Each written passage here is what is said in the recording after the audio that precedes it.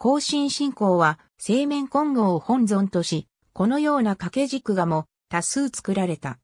この画では中央に生面混合を描き、上に実月、左右に猿、下に鶏を配している。現在までに伝わる更新信仰とは中国道教の徳、三、屍説をもとに仏教、特に密教、神道、修験道、呪術的な医学や日本の民間の様々な信仰や習俗などが複雑に絡み合った複合信仰である。更新とは、えと、すなわち、実感、十二種の六十通りある組み合わせのうちの一つである。陰陽古行説では、実感のカノエは、日の鐘、十二種の猿は、日の鐘で、日はとされている。えとであるので、年をはじめ、月の年の七月、さらに日がそれぞれに相当する。更新の年、日は、金気が天地に充満して、人の心が冷酷になりやすいとされた。この更新の日に近畿行事を中心とする信仰があり、日本には古く平安時代に移入された。フォトグラメトリで作成した石神峠にある更新島の 3D モデル検討士に伴い、島に留学したが上陸して拒否されて離脱し、独自に旅して修行して学んだ縁人が、日東具法巡礼行期838年11月26日の上に夜、人は皆く眠らず。本国の正月、更新の夜と同じきなり。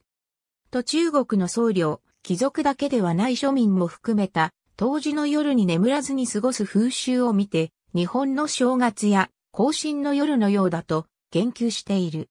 更新行が3、屍説や守る更新を記述していて、平安時代に伝わり、更新信仰の原点となったと推定されている。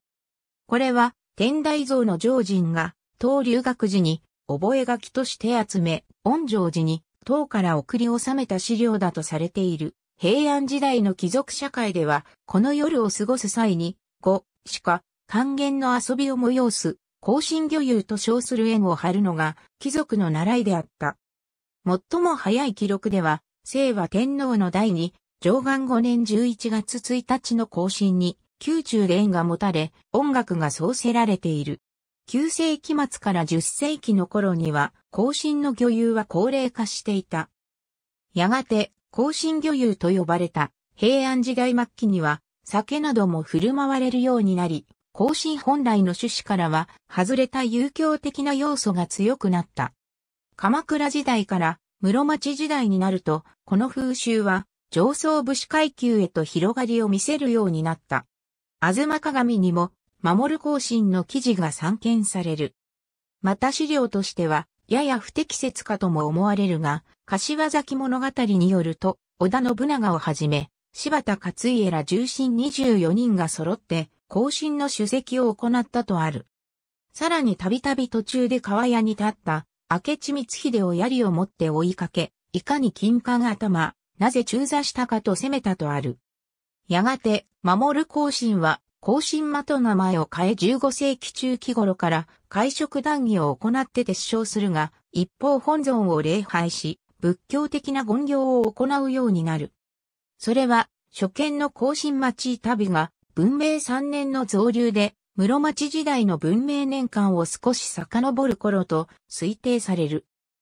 甲信町が一般に広まったのがいつ頃かは不明だが、愛知県豊田市の金谷甲信三光寺の像している甲信演技では寛任4年だが、その頃に守る甲信の際の言行や苦毒を説いた甲信演技が天台宗の僧侶の手で作られ、内容は四天王寺甲信堂の由来を語る形式で趣旨と実践の経営網書でもあり、その始まりを大宝元年正月7日に、御事記承人への生面混合からの掲示によるとした。四天王寺行進堂から九図で各地へ伝承され、行進信仰は仏教と結びついて広まったが、特定神仏を選ばず本尊含めて多くの神仏と集合した。仏教と結びついた信仰では、諸仏が本尊視され始めるが各地行進堂で本尊は違い、行いを共にする、行進校が組織された。そして、校の成果として、行進党の前身にあたる、行進医旅が増流され出した。また、日吉山王信仰とも集合することにより、室町時代の後期から建立が始まる、甲神島や日には、猿町と記したり、山王の紳士である猿を描くものが著しくなる。甲神信仰では、もともと猿が甲神の使いとされ、見猿、岩猿、聞かざるの三円をもってその身体とした甲神道もあったが、やがて正面混合が本尊とされ、三円は脇に置かれるようになった。甲神島も三円だけだったが同様に添え描かれた。甲神の剣能は各地で違うが、多岐にわたり、豊作、承服、厄除け、家族、馬号、良縁、建築、健康長寿、病除け、土地、道、諸芸の神とされ、現世利益が求められ、祈られた。他に、男女同床せぬとか、結婚を禁ずるとか、この日結ばれてできた子供に、盗人の性格があると恐れられたりする因習もあったやがては、宮中でも、後進の本尊を祀るという形へと変化が見られるようになった。仏教式の後進信仰が一般に流布した江戸時代は、後進信仰史上最も多彩かつ盛んな時期となった。しかし、幕末に衰えを見せ、甲信島は完成8年には近畿地方の甲信信仰発祥の北節などでもすでに珍しいものとなり、山形県佐賀市所在のものが現存最古である。明治時代初めに路傍の石仏祠石碑や基礎となった修験道が禁止され、以降には生活の変化とともに急速にその信仰が失われた。この夜つつましくして眠らずに過ごすという習慣は一部の地区で受け継がれている。また地域によっては、人々が愛よって催す行も続けられている。